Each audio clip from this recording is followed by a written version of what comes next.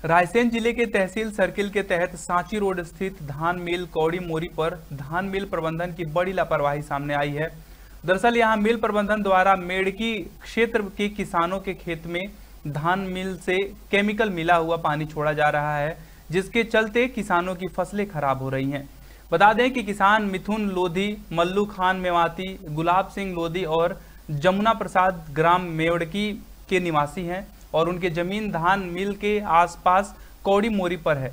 बताया जा रहा है कि धान, मिल का केमिकल युक्त गंदा पानी पिछले एक दो दिनों से कुछ मात्रा में ज़्यादा निकल जा रहा है, जो किसानों की सोयाबीन धान के खेतों में भर गया है।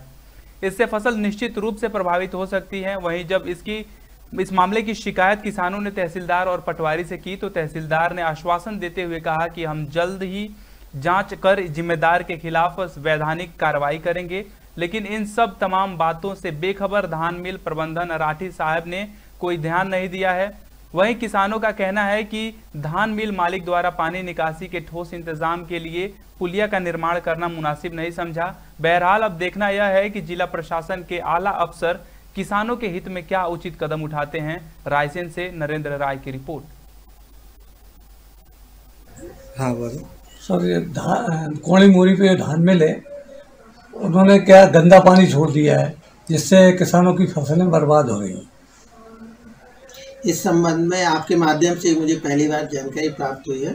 किसी भी कृषक द्वारा अभी तक मेरे समक्ष में कोई शिकायत नहीं की गई है। हम इसकी जाँच करवाएँगे यदि वास्तव में धान फैक्ट्री वाला अपना गंदा पानी छोड़ते हैं और फ़सल खराब हो रही है तो जो भी विधि संगत कार्रवाई की जाएगी। इनसे हमने पानी निकास का कहा इनने पानी के लिए रास्ता भी नहीं दिया और पूरी उस जगह को और इसके बाद में ये केमिकल की दवाइयाँ निकलती हैं इसके द्वारा तो धान हो रही है ना। ये पूरी नष्ट हो गई उधर पानी का निकास भी नहीं दे रही है। हम लोग तीन चार साल से हम इनसे बोल रहे हैं तो ये ध्यान ही नहीं देते और बोलते हैं तुमसे जो बनता है वो कर लेना मेरा कोई बाल भी बाकी नहीं कर सकता है। इस मामले की शिकायत तहसीलदार को की है आज? वो पटवारी मैडम को की थी तो मैडम भी दो तीन बार आई हैं पहले भी और अभी भी आई थी महीना भर पहले तो उनसे क्या हुआ मैडम भी फिर चली गई। पिछले साल भी शिकायत की थी पिछली साल भी की। थी।